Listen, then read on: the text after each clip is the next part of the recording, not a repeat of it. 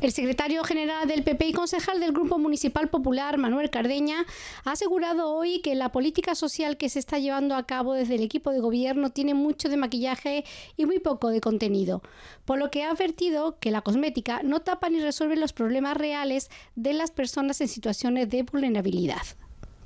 Cardeña ha recordado algunas de las decisiones más lamentables de la delegación, como ha sido el cierre de los dos puntos de emergencia social del municipio, que han dejado sin cobertura municipal a los usuarios durante dos años, y que se trata de una actuación política muy difícil de entender e imposible de explicar. Bueno, muy buenos días a todos. Gracias por su presencia hoy aquí en la sede del Partido Popular y la, y la el motivo de la convocatoria es analizar las políticas eh, sociales que se están llevando en este municipio, con motivo no solamente del balance eh, que tuvimos conocimiento el otro día, sino de la situación que nos trasladan colectivos de nuestra localidad. Decir que es una política social la que está llevando el tripartito, basada principalmente en la, en la utilización del maquillaje, del maquillaje como un mecanismo para intentar paliar los efectos, un maquillaje para decir y no hacer y no actuar, y una, y una gestión que utiliza el maquillaje principalmente en dos combinaciones muy claras. En la primera combinación, que, intenta reflejar que por ser de izquierda las políticas sociales son mucho mejores que las que, las que hacía o hace el Partido Popular, y la otra combinación es que eh, intentan destacar pues que la política social del Partido Popular todo eh, fue malísima y todo salió y todo afectó negativamente a los ciudadanos, con lo cual podemos decir que eh, la utilización del maquillaje yo creo que le está saliendo mal a este equipo de gobierno y no beneficia a las personas que más lo necesitan. el maquillaje no tapa que se hayan cerrado dos centros de emergencia social y que no haya ninguna solución eh, dos años después y que se sigan sin tener claras cuáles son los, parámetros y las actividades para eh, apoyar y ayudar a las personas que lo necesitan. El, maquillaje no tapa que Bancosol haya abandonado la ciudad y que no tengamos sede de Bancosol en la ciudad. El maquillaje no ayuda a que eh, la tramitación de las ayudas de emergencia se realicen de forma más efectiva y más rápida. En la actualidad tenemos unos parámetros y unos eh, periodos de pago de las ayudas pues mucho más largos que los que tenía el Partido Popular. La utilización del maquillaje y la extracción del maquillaje lo que produce es que no se ejecute el dinero presupuestado para ayudar a las personas que lo necesitan decirles que los porcentajes de ejecución presupuestaria en un presupuesto para políticas sociales, gracias a la gestión del Partido Popular Económica y gracias a la dotación eh, y el esfuerzo del Partido Popular en conseguir mayor dotación para las políticas sociales del municipio, pues el porcentaje de ejecución sigue siendo de los más bajos de la historia de la ciudad en este área. El maquillaje tampoco da soluciones al tema de la residencia, a la apertura de este centro de adicciones que iban a poner en marcha, de los que no se conoce nada. Han llegado a decir que incluso no hace falta una residencia de mayores. Y esta política pues, de fuego de artificio y de adornos tampoco eh, beneficia a los mayores, que se han tenido que manifestar en dos ocasiones para pedir eh, que se les tenga en cuenta, que existen. Eh, problemas tan importantes con las juntas directivas de los centros de mayores que han terminado en, el defensor del pueblo para que medie e intente solucionar eh, pues el problema que ha generado este, este equipo de gobierno, los monitores que, de los talleres, talleres que este año han terminado antes que nadie, antes que nunca, por falta de interés de este equipo de gobierno, pues los monitores todavía no han pagado, no han cobrado, mejor dicho, el mes de junio ni el mes de mayo, con lo cual esa es la política de los mayores que están pues mm, claramente insatisfechos con las políticas de este equipo de gobierno. He puesto para ilustrar esta rueda de prensa diferentes eh, peticiones que hacía Izquierda Unida en la época del gobierno del PP. Eh, también pedían ese centro cívico de las Albarizas que sigue sin tener ninguna actividad, tenía actividad en la época nuestra, ya no tiene ninguna actividad. Era pues eh, era fácil ver a, las personas de Izquierda Unida, los representantes de Izquierda Unida, las albarizas pidiendo mejoras para la zona de las albarizas, ahora están absolutamente desaparecidos y todo lo que pedían, todo lo que exigían al Partido Popular, todo ese aumento de políticas sociales que hubo en la zona, pues ahora mismo no se sabe qué piensan al respecto, ya que han abandonado absolutamente la zona. Hay mm, datos también que afectan a la pérdida de participación en las actividades sociales del municipio. Eh, no sabemos por qué no se convoca el Consejo Gitano. más de dos años de la creación de este organismo por parte del Partido Popular y que no se ha convocado ni una, ni una sola vez a la participación, a las asociaciones vecinales que quieran y a las, asociaciones del movimiento gitano para intentar seguir avanzando en la línea de dar al pueblo gitano las, herramientas que necesita para que puedan aportar a la sociedad como un colectivo más. No se sabe por qué no se convoca, no hay interés en intentar ayudar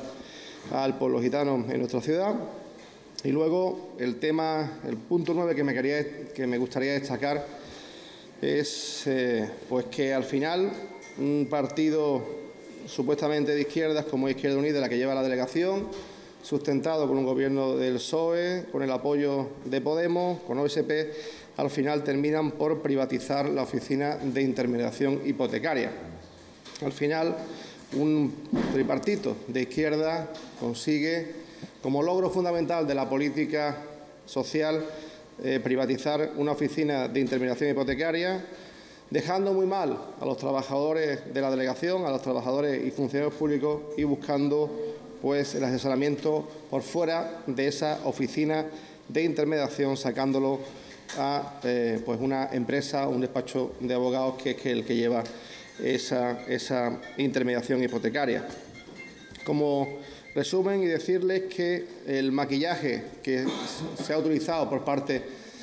de este equipo de gobierno como base fundamental de la gestión en políticas sociales no ayuda a mejorar la vida de las personas que más lo necesitan, no ayuda a solucionar ningún problema y lo único que ha hecho es intentar, durante un tiempo que ha durado ese maquillaje, ocultar los cierres de los centros de emergencia social, el cierre de Banco Sol, la negligencia de la tramitación de ayuda, las pocas relaciones y las malas relaciones con los colectivos sociales, los problemas que está generando también la política con los mayores que nunca ha generado y la paralización total de las políticas sociales en el municipio. Queremos políticas reales, queremos políticas a pie de calle, queremos políticas que ayuden a mejorar la vida de los demás y no políticas que se basen simplemente en el maquillaje y en la política de mm, artificio y de cortinas de humo o como vemos en la pantalla como políticas solamente de campaña publicitaria que nada tienen que ver con la realidad que están viviendo los vecinos del municipio. Así que yo, sin más, me pongo a su disposición por si tienen alguna duda en las reflexiones que hemos compartido hoy con ustedes o en cualquier dato que, quieran preguntar de tu tema, estamos a su entera disposición. Sí, eh, sobre la oficina de intermediación hipotecaria, eh, ustedes en su momento, ustedes en su momento del Partido Popular hablaron de personas vinculadas a Podemos. ¿Ese despacho de abogados tiene alguna vinculación, por pequeña que sea, con Podemos? Nosotros estamos investigando el tema y todavía no podemos confirmar eh, cuál es la procedencia y cuál es la persona o hay vinculación con ese despacho, porque este equipo de gobierno todavía, creo, porque la última vez que lo consultamos fue hace algunos meses, todavía no, ha, puesto a disposición de todos los grupos a través de la página web todos los contratos menores. Solamente ha puesto hasta septiembre, si no recuerdo mal, del año pasado. Puede ser que lo hayan colgado. Yo eh, me, curo en salud en ese aspecto, pero yo la última vez que lo consulté no tenía acceso a ese decreto de ese contrato eh, que tenía que estar colgado en la página web la última vez que, lo pedimos en pleno a través de, también de los demás compañeros que lo colgaron. Todavía no, tenemos constancia de ese contrato, o sea, no tenemos la información que nos falta ese contrato para poder darle a usted la información que me, que me pide. Estamos esperando la confirmación por un documento oficial.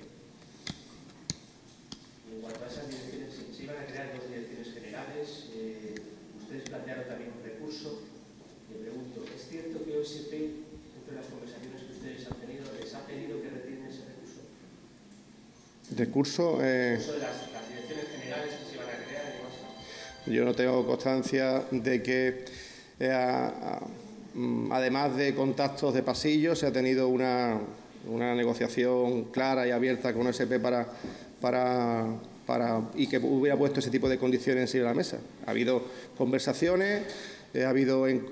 pues, dentro de, una, de los contactos que tenemos con todos los grupos políticos del del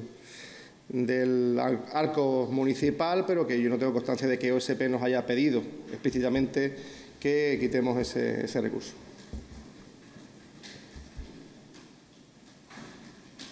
Ya en clave de, partido, de cara a la, asamblea de, de, de Marbella, eh, ¿usted va a repetir como secretario general? Hombre, eso eso lo tiene que decir. Eh, primero, la, primero tiene que ganar eh, la, candidatura, la persona que encabeza la candidatura, que es Ángeles Muñoz, y luego proponerme a mí como secretario general y luego que me voten los afiliados. Yo solamente le puedo decir que, estoy a disposición del partido, que me encantaría ayudar al partido en los próximos años eh, pues de la forma que, que, el partido quiera a conseguir devolver al Partido Popular a la Alcaldía de Marbella por lo tanto, a mejorar nuestra ciudad y, como decía, estamos a disposición del partido. Yo pertenezco al equipo de Ángeles Muñoz, el equipo que está trabajando en su candidatura y la alineación que ella haga, ella es el míster y ella hará la alineación que ella crea conveniente y, acataremos, evidentemente, el puesto que nos toque jugar o nos toque estar en el banquillo.